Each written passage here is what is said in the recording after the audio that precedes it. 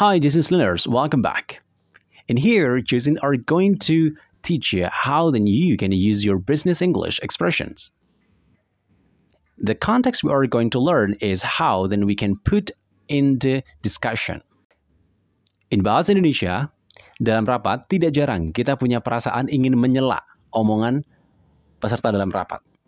Untuk itu, bagaimana cara memberikan bentuk atau ekspresi saat menyela dengan baik dan benar, maka Josin akan memberikan beberapa frasa bahasa Inggris penting saat menyela dalam rapat. Beberapa frasa yang akan Anda pelajari di sini adalah yang pertama, menyela dengan sangat sopan, menyela dengan sopan atau biasa, lalu kemudian menyela dengan sungguh-sungguh, menyela dengan kuat dan sungguh-sungguh, lalu kemudian menolak interupsi, atau dan yang terakhir, mengizinkan interupsi. We are going to start from the first place how we can interrupt very politely in the meeting for business English.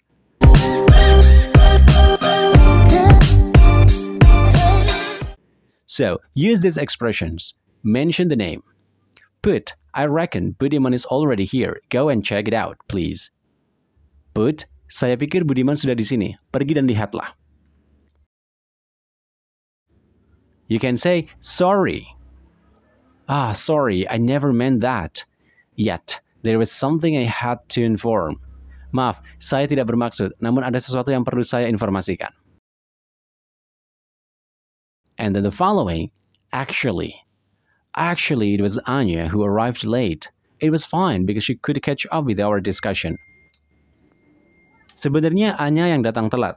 Tidak masalah karena dia bisa menyusul rapat kita semua.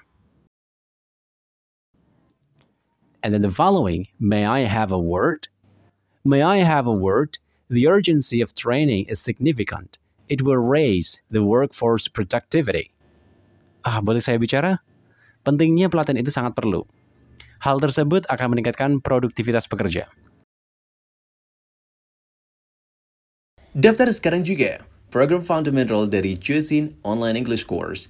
Program yang akan membantu kamu belajar bahasa Inggris benar-benar dari dasar.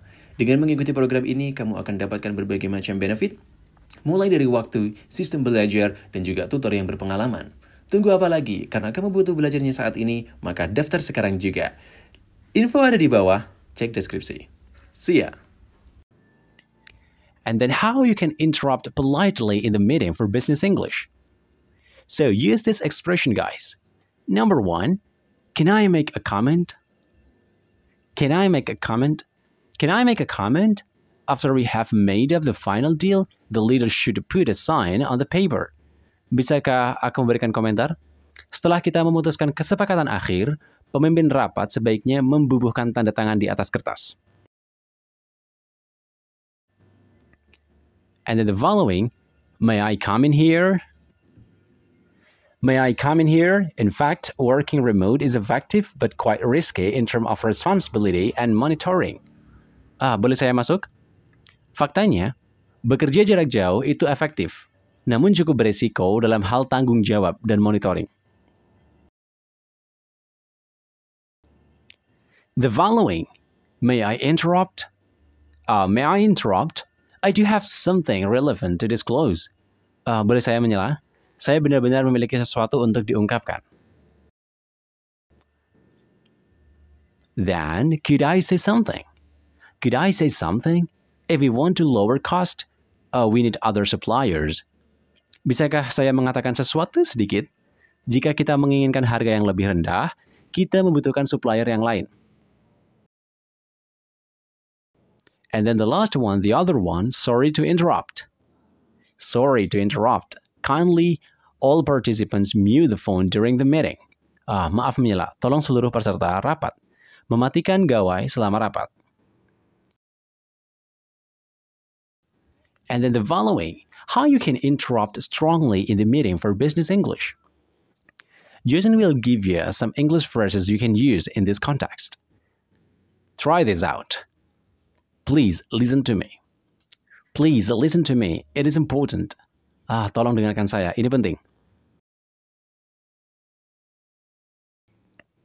And then, do you mind if I jump in here?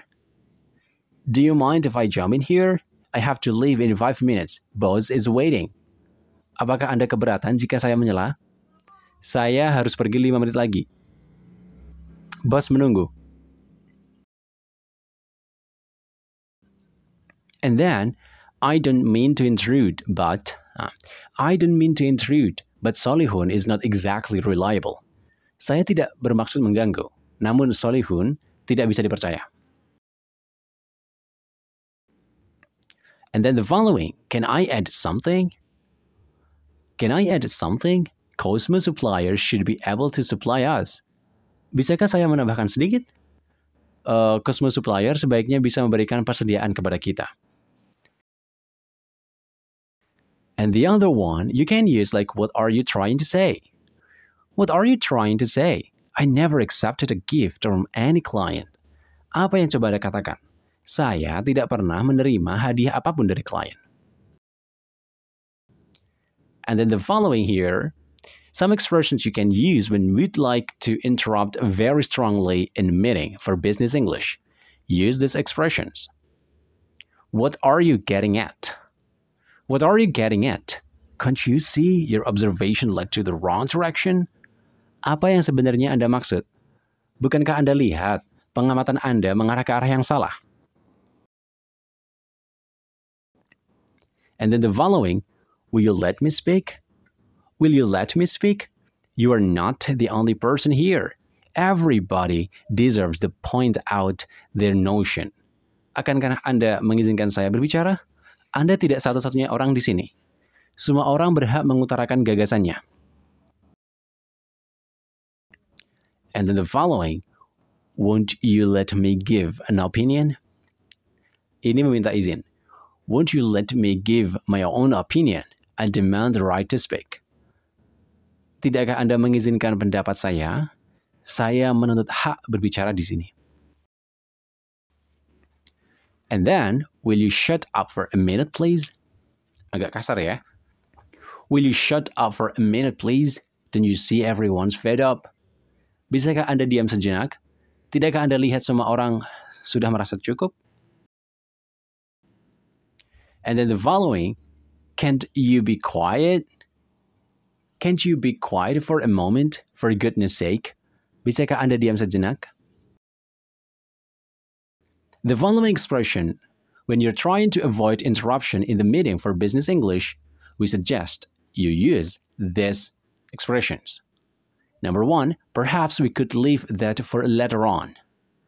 Perhaps we could leave that for some other moment. Mungkin kita bisa meninggalkan itu lain kali. And then the following, will you let me finish? Will you let me finish? You can object when your turn comes up. Anda izinkan saya menyelesaikan. Anda bisa keberatan ketika giliran Anda tiba. And then the following, I'd rather go on with. I'd rather go on with the current subject as it needs finishing immediately. Saya mending melanjutkan pembahasan terakhir sebagaimana itu perlu diselesaikan segera.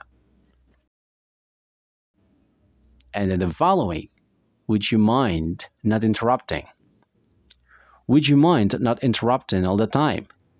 Apakah Anda bisa tidak menyela sepanjang waktu begitu? And then the following, allow the interruption and business English. So you can use these expressions like let's hear. Ah, let's hear what Aldo has to say. Mari dengarkan apa yang harus Aldo katakan. And then the following, you may speak. Of course, you may speak, Sylvie. Tentu saja Anda boleh bicara, Sylvie. And then you can say like an instruction, please go ahead. Ah, please go ahead, Diana. What is so urgent? Lanjutkan, Diana. Apa yang penting? And then the following, we'd be delighted. We'd be delighted to hear your thoughts. Maul, please go ahead. Kita akan senang mendengarkan keraguanmu. Maul, lanjutkan saja. And the last but not the least, you're not interrupting. Ah, you're not interrupting at all. Everyone is free to share their opinions. Anda tidak menyela sama sekali. Semua orang bebas berbagi pendapat. So these are some expressions you can use in business English anytime you'd like to put yourself in the meeting. So if you want to check more content of our brand, please just visit our website, jasintranslation.com. Okay, see you international and Sashable people by then. Da.